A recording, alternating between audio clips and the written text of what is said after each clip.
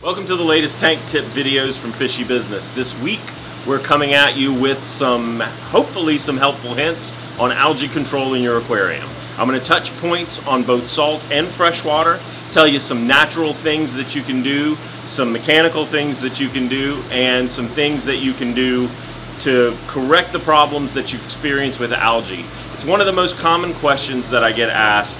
We get asked every day, I've got problems with my tank, what do I do? I've got all this brown stuff, this rust colored stuff growing in the tank, what do I do?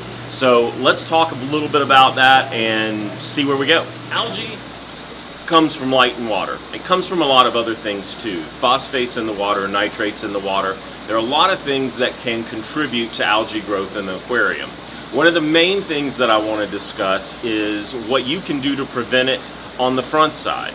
Now, number one, if light, eh, if light and the amount of light produces a ton of algae, the number one thing you need to be doing is considering how much light and to what intensity you're giving your tank. The more light you have, the more algae you're going to grow. The more intensive the lights are, the more algae you're going to grow. The more you have a tank in an open lit, sunlit room, or a place like this where you've got lots of overhead lights, you're going to have more algae. So you're going to have to control it several different ways. The number one thing I tell most people with a common freshwater tank or a fish-only saltwater tank is run the lights the eight, six to eight hours a day that you're home to enjoy them. Fish don't typically care about light, not in a way that would matter to their long-term health. If you are trying to establish a tank in your home you want to give it you want to give it a situation where you're there to enjoy it. The tank is for you after all. So the number one thing that I would tell you is if you're getting home in the afternoon at 4 o'clock or 5 o'clock and you're staying up till midnight, run them that time. There's no reason for the lights to come on at 8 o'clock in the morning and run till midnight.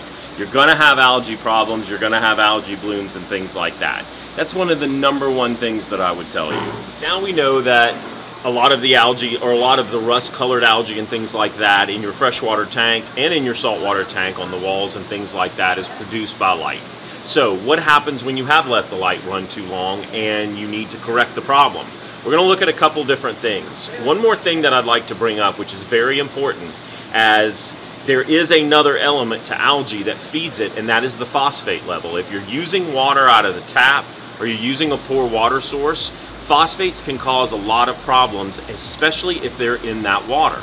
The other thing that I want to that I want to say is that the, there are phosphates and nitrates in foods that you feed. There is no getting around this. Some foods have more, some have less. But the heavier you feed, the more you're going to contribute to algae growth. This is both true in salt and it's true in fresh water.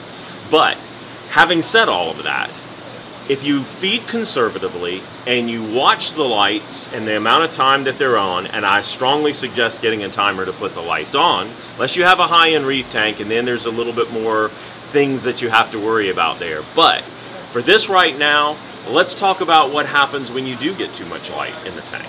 So you have algae in the tank now. There are, I'm not a big proponent of chemical treatments in the water unless you absolutely have to use them because technically there's so many ways to control it naturally just by following a few simple things. Obviously, it might be time to make a water change. However, a water change shouldn't be used for algae control in terms of doing a major water change to correct a lot of algae. If you've let the tank go, keep your water changes small. Too much of a water change can cause you throwing the tank completely out of whack. So if you have tons and tons of algae in there, check your water parameters first, find out where everything's at before you proceed to doing some major water change. Now having said that, a small water change may not be, you know, such a bad idea. Definitely the first thing you're going to want to do if you've let things go too long is cut way back on the lights. This may mean cutting the lights back to two hours a day. It may mean cutting the lights off for several days in extreme situations where you have green water and that happens when the water molecule itself actually has algae in it and you have a huge bloom where the whole tank looks green, you will have to cover the aquarium for a few days to starve that algae. Algae, algae that's being kept from light is going to starve itself out unless you're feeding it through high phosphates. Am I confusing you yet? There's a lot to know about all of this. and I'm just going to take you through a couple steps real quick. You can always call the store, you can always talk to one of us about it, but if you know a little bit more getting into it, you can kind of control a lot of what happens. So, there's too much algae in the tank, you've checked your water parameters, everything's pretty good, you want to proceed to a water change, I have no problem with that. One of the things that you might want to do is use a ChemiPure or a high-grade carbon.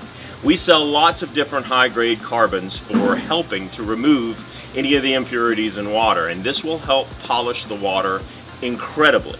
ChemiPure is one of the best things that we have used. It's not the only thing. Seachem has a fantastic product for it as well, as are many other things. A simple algae fix, if you want to use a chemical for a smaller tank to help control algae is great.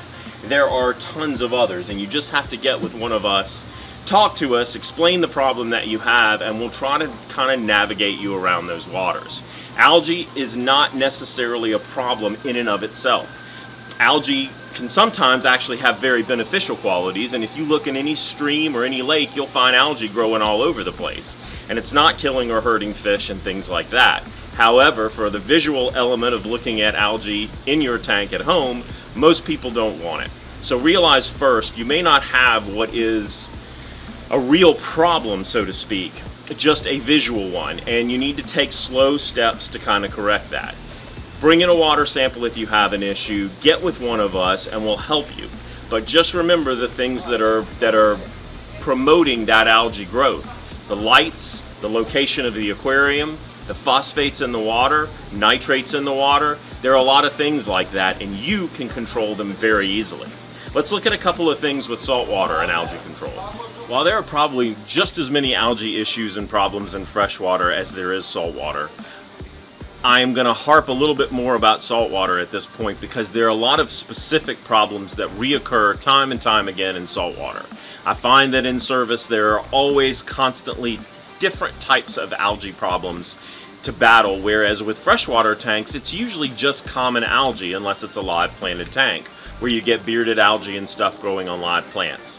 That's for another video. That's a little bit more intense and we'll get into that with live plants when we do a special on that.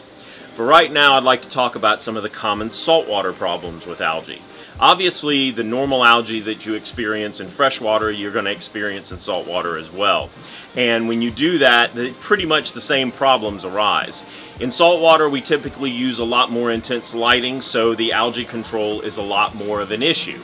With that, it's very important to put some natural control in there. With saltwater, there are the most common algae problems are just the general algae, which develops on the walls and, uh, and on the side of the aquarium. That's easy enough to control with light and natural controllers. However, you're going to experience at some point in time red slime algae, which isn't really an algae, it's a bacteria.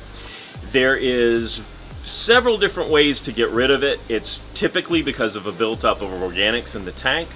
There is one product, ChemiClean, that 100% works for that particular problem. If you've got red slime, I've used this in so many different tanks in service. It's nice to have around now because the methods that we used to use to control it were a little archaic and now we have a way to control it very easily. So if you follow the instructions on this, this is a fantastic product for removing slime algae in a saltwater aquarium. Occasionally, you may have valonia or bubble algae develop. This is a little less common, but it still happens to probably one out of four people.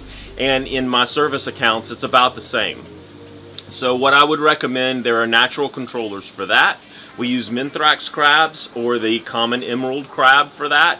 That is a natural controller that will generally eat it, but obviously they can only consume so much. So unless you throw 50 or 100 of them in there, you're going to have an issue. And all crabs are a little opportunistic, so that's a little tricky there too.